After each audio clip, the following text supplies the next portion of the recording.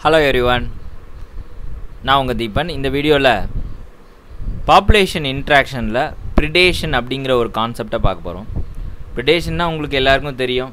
நம்ம அதை சொன்னோன்னே என்ன ஞாபகம் வரும்னா லயன் வித் டீர் அப்படிங்கிறது நம்ம மனசில் எல்லாருக்கும் ஞாபகம் வரும். அதில் ரெண்டுத்துக்குமே ஒரு லயனுக்கு வந்து ப்ளஸ் லைனை வந்து டீரை சாப்பிட்றதுனால டீருக்கு வந்து மைனஸ் ஏன்னா அது தன்னோட உயிரே இழந்துருது. ஸோ இந்த மாதிரி டைப் ஆஃப் இன்ட்ராக்ஷனை பற்றி இந்த வீடியோவில் பார்ப்போம். அதுக்கு முன்னாடி நம்ம சேனலை இதுக்கு முன்னாடி சப்ஸ்கிரைப் பண்ணாங்க சப்ஸ்கிரைப் பண்ணிங்க. கூடவே பெல் பட்டனையும் ப்ரெஸ் பண்ணிங்க. இந்த பாப்புலேஷன் இன்ட்ராக்ஷனுங்கிறது ஆர்கானிசம் அண்ட் பாப்புலேஷனில் வெரி வெரி இம்பார்ட்டன்ட் சாப்டர் இதே இந்த சாப்டரில் தான் கொஷின்ஸ் வந்து நிறைய கேட்டுட்ருக்காங்க. இப்போ நீங்கள் பார்த்துக்கிட்டு இருக்கிறது ரெண்டாயிரத்தி பத்தொம்போதில் கேட்ட கேள்வி சாப்ரோஃபைட் அப்படின்னா என்ன? Decomposition of dead metals materials பேராசைட்டுங்கிறது living on living plants and animals அப்படின்னு சொல்லலாம். அதுக்குள்ளே இருக்கிறது. லைக்கன்ஸ் அப்படிங்கிறது symbiotic association between algae and fungi mycorrhiza அப்படிங்கிறது ஃபங்கைக்கும் பிளான்ட் ரூட்டுக்கு இடையில் ஒரு மியூச்சுவல் ரிலேஷன்ஷிப் இது பார்த்தீங்கன்னா இந்த சாப்டர் பாப்புலேஷன் இந்த ஆர்கானிசம் அண்டு பாப்புலேஷனில் பாப்புலேஷன் இன்ட்ராக்ஷன்லேருந்து தான் கேட்டுட்ருக்காங்க. ஸோ இந்த டாப்பிக்கை வந்து ஃபுல்லாக பார்த்துங்க இப்போ நான் இந்த வீடியோவில் ப்ரிடேஷன் பற்றி சொல்கிறேன் நெக்ஸ்ட்டில் commensalism parasitism mutualism amensalism இது எல்லாத்தையுமே போட்டிருப்பேன். ஸோ அதை ப மறவாமல் அப்படியே அடுத்தடுத்த இதாக நீங்கள் அதை பார்த்துருங்க.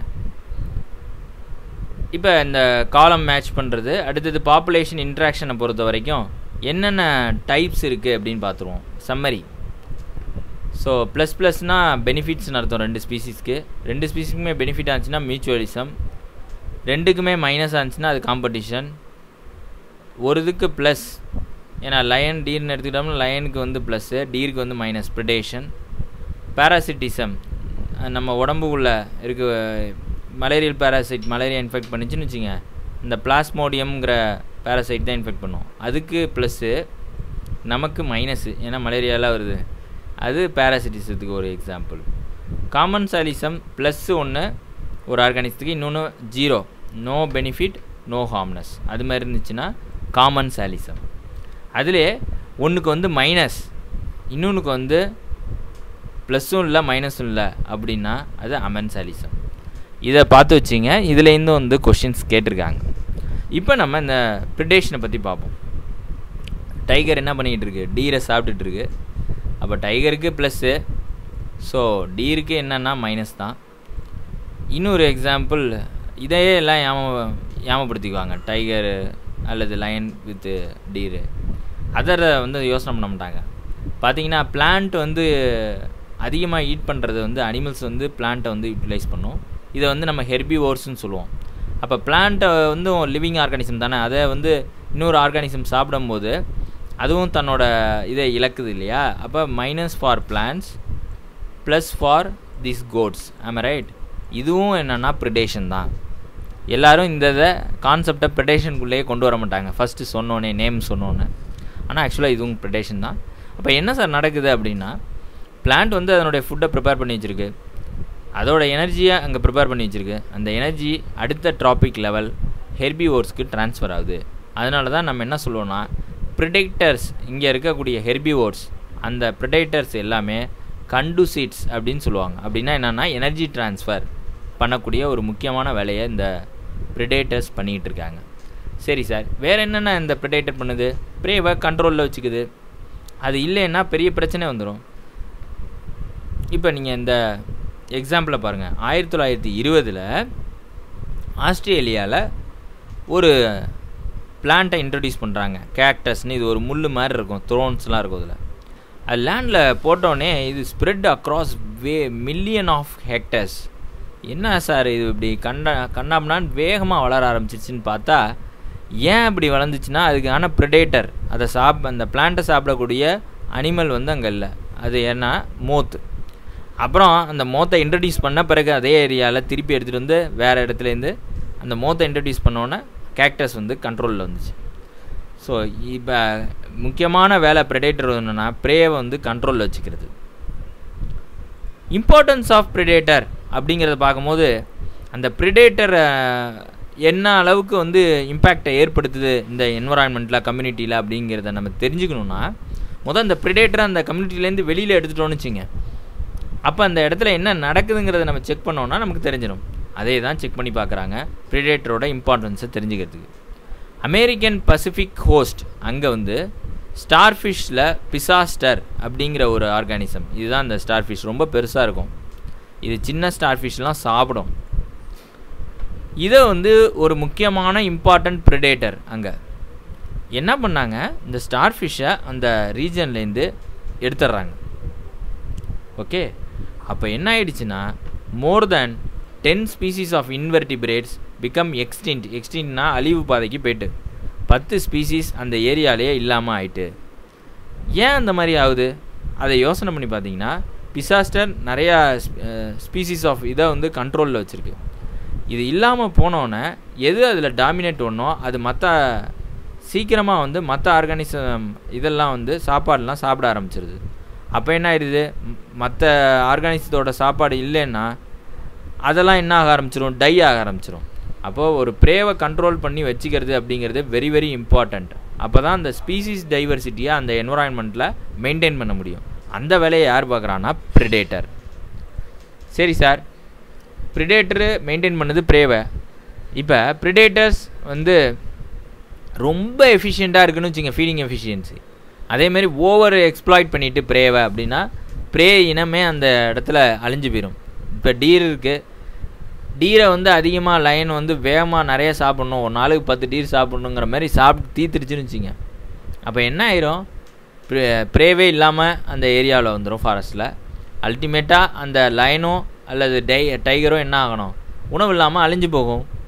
ஐம் ரைட் ஸோ அதனால் அது என்ன பண்ணுன்னா predators are prudent in nature அப்படிங்கிறாங்க. அப்படின்னா என்ன அர்த்தம்னா எதிர்காலத்தை யோசித்து அது உணவை வந்து சாப்பிடும்.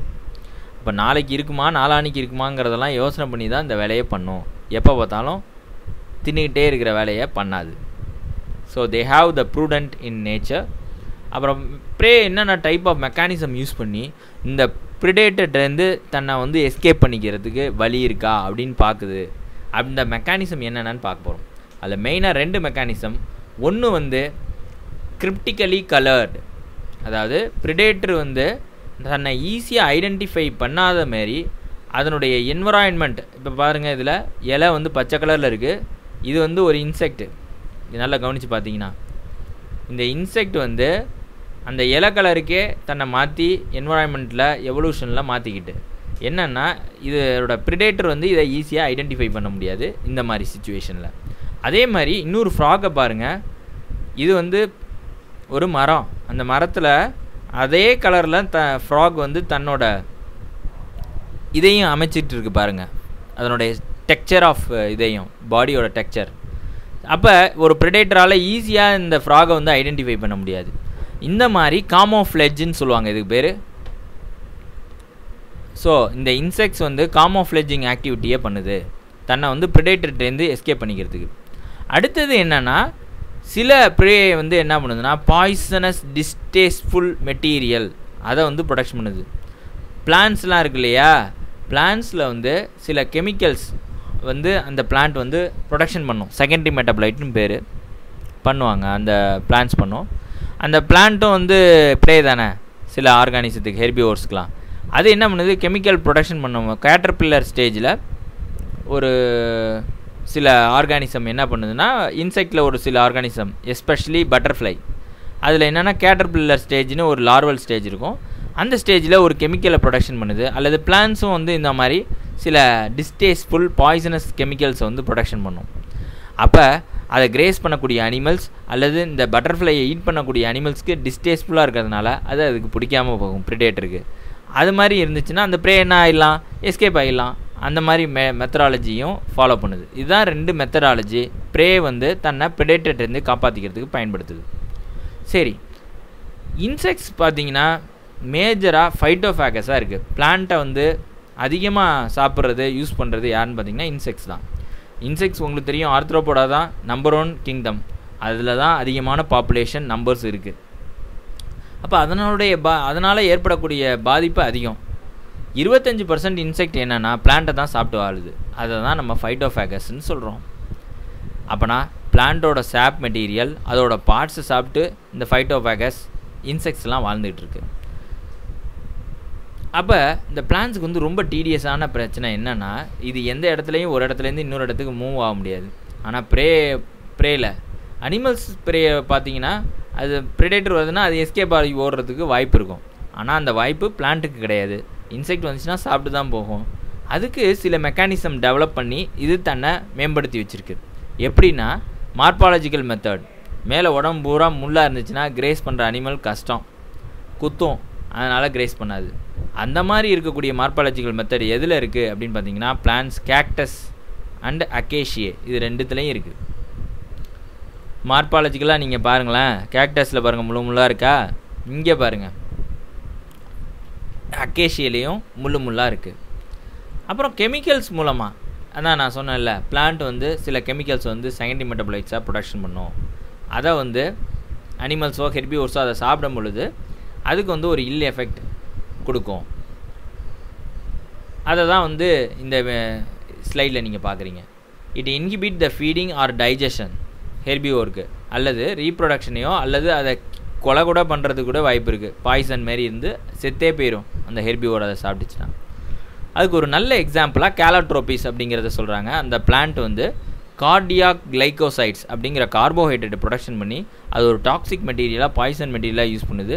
அதை வந்து கிரேசிங் அனிமல் சாப்பிடும் பொழுது அதுக்கு வந்து திடீர்னு டாக்ஸிக் ஆகி எய்தர் இன் இதாகிடும் அல்லது டெட் கூட அதுக்கு வாய்ப்பு இருக்குது இதே மாதிரி செக்ரீட் ஆனது தான் இந்த நிக்கோட்டினாக இருக்கட்டும் கேஃபின் அதுவாக இருக்கட்டும் குயூனைன் அதுவும் இருக்கட்டும் இந்த மாதிரி ட்ரக்ஸ்லாம் நீங்கள் பார்க்குறீங்களா ஓபிஎம் ஸோ அது ஸ்ட்ரெச் நைன் கியூ நைன் இது எல்லாம் யார் அப்படின்னு பார்த்தீங்கன்னா தன்னை பாதுகாத்து கொள்வதற்காக இந்த பிளான்ஸு ஹெர்பிவோர்ஸ்டேருந்து தன்னை பாதுகாத்து கொள்வதுக்காக ப்ரெடேட்டர்லேருந்து இந்த மாதிரி கெமிக்கல்ஸை ப்ரொடக்ஷன் பண்ணி அந்த ட்ரக்ஸ் எல்லாம் கொடுத்தா நமக்கு எப்படி போதம் வருதோ அதேமாரி ப்ரெடேட்டருக்கும் போதம் வரும்ல?